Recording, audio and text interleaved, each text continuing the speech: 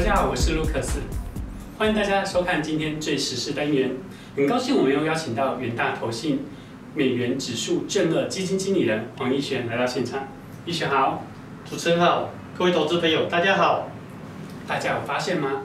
今年新兴市场的股汇市其实波动非常的加剧，但是一璇可以帮我们解释一下吗？美元指数跟这个新兴市场之间到底有什么微妙的关系？好。那其实新市场呢，呃，我们可以发现哦，以过去的历史来看呢，新兴市场有大幅度下跌的时候呢，其实美元指数都是上涨的哦。所以呢，其实美元指数呢跟新兴市场这中间的关系呢是呈现负相关哦。所以呢，如果新呃投资人有新市场的这个呃部位呢，是可以透过一些美元指数的部位来作为一个替代性的一个避险。除了新兴市场以外，其实我们可以发现。今年还是有很多市场频频创新高，例如美国股市。但是建议投资人还是要做个居高思维。一选啊，那针对这个部分的话，有什么好的建议吗？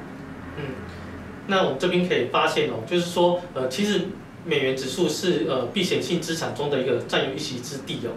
那许多人会把美元指数看成是一个避险性的一个货币哦。那我们从这张图表我们可以发现哦，当美国有大幅度下跌的时候，其实美元指数它都是呃有出现一个比较明显的上涨哦。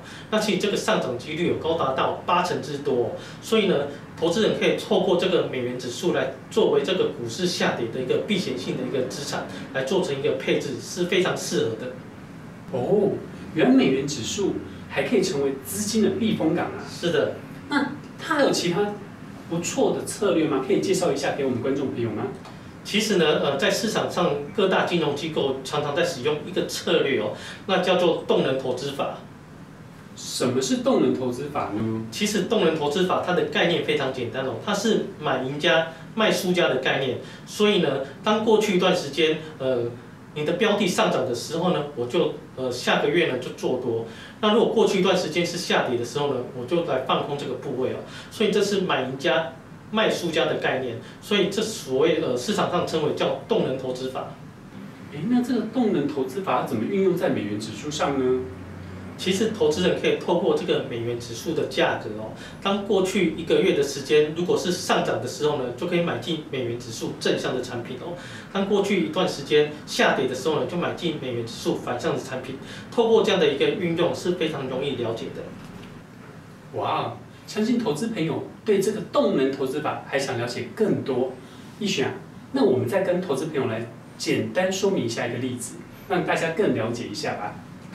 我们可以从一个简单的例子来看哦，当我们去年呃巴西美元指数以来哦，三月份以来，我们可以看到，如果从去年三月到现在，我们做一个模拟绩效的一个显现的话，我们可以看。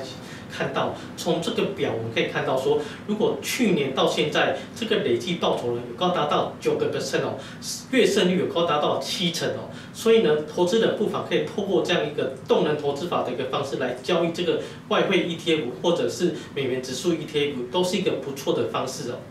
听了美元指数这么多好处，那市面上这么多的产品，一选来跟我们介绍一下，我们要投资什么样的美元指数的产品呢？其实呢。呃，看好美元指数的一个呃行情的一个表现的投资人，可以买我们的呃买我们的元大美元指数跟元大美元指数正二的产品哦。那如果看坏的投资人呢，可以买元大美元指数反向的产品，这都是投资人可以运用的一个不错的选择哦。相信今天节目之后，大家对美元指数有更深切的了解了。是的，也谢谢易璇今天对我们精辟的解释和说明。那如果喜欢今天的内容的话，记得帮我们按个赞、分享或是订阅。那右下角的话有个小铃铛，要记得帮我打开，才能收到最新的节目讯息。谢谢今天的收看，我们期待下次再相会，拜拜。